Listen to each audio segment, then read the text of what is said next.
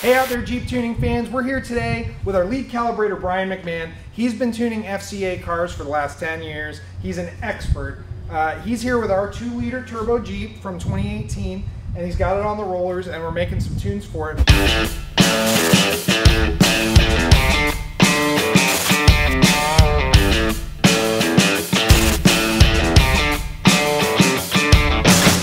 Where do we where do you start on a 2 liter turbo induction? Where do we even begin? That's a really good question because they've never had a direct injected turbocharged engine that's been offered through FCA. So we're pretty much starting from scratch here, just trying to figure out the general the general operation strategy of this engine and this controller.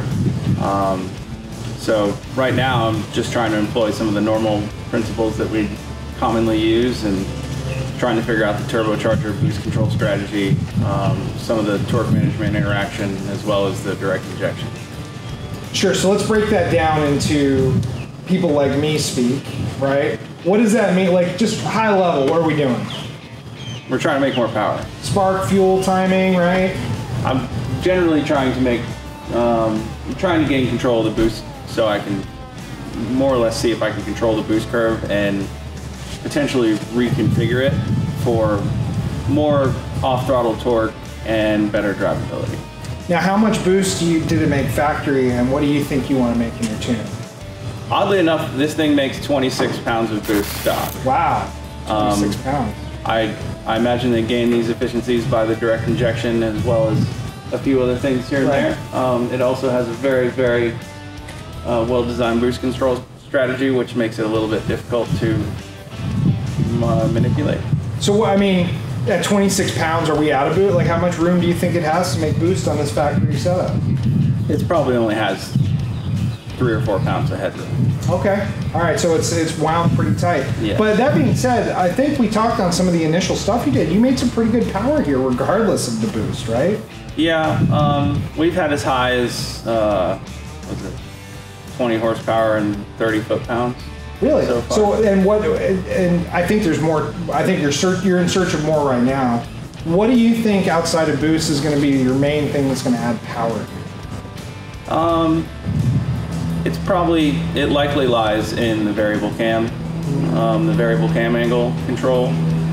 That's the only real thing I can see, because being that the being that the boost is already pretty much maxed out as far as it'll go from the factory. Mm-hmm. So we're really going to have to break it down and get um, really, really figure this thing out sure. to make it all work together. Right now, we have a very, uh, a very noticeable uh, drivable tune that works really good on the street.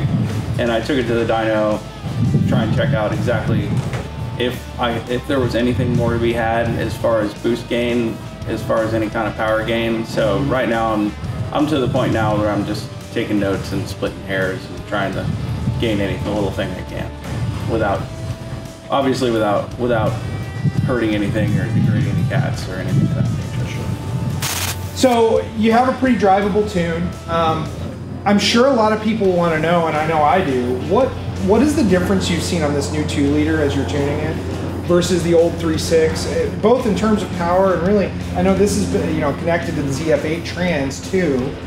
Uh, as a calibrator driving it every day, what have you seen? Tell us a little bit about the differences between the two and what you found. Well, it's a completely different package compared to the 3.6 with having an A580 in behind it. Um, the 3.6 was a little flat through the power band, which you would notice all the time.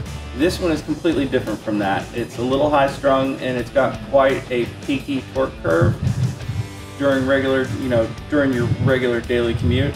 So what I've worked on to do is bring in the boost a little sooner and round it and round it out and broaden that torque curve. Um, because what what we found over the years for most Jeep people and most people that daily drive their vehicles is that when it comes to these, you play with these recreationally, but the rest of the time you spend the majority of your time from you know 15 to 40% throttle. So I've really focused on that, and you know at the end of the day, we're not going to get major big peak gains out of a system like this because it's pretty well designed from the factory.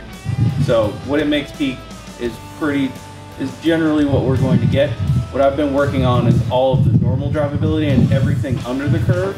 So it really, really makes a large, like a really good impression when you when you load the tune and go and daily drive your Jeep. So let me let me make sure I understand. Just help me. The factory horsepower number for this Jeep was what? Um, 221. Okay, so 221 is about what you expect at peak. Yeah. But what you're what you're saying is really the massive drivability increase that people are going to feel Right. is down low. Yes. It's at the part where you're at most of the day anyway. It's when you're going from the stoplight, or when you're going over a log, or when you're doing Yeah, when you're crawling, Yeah. stuff like that.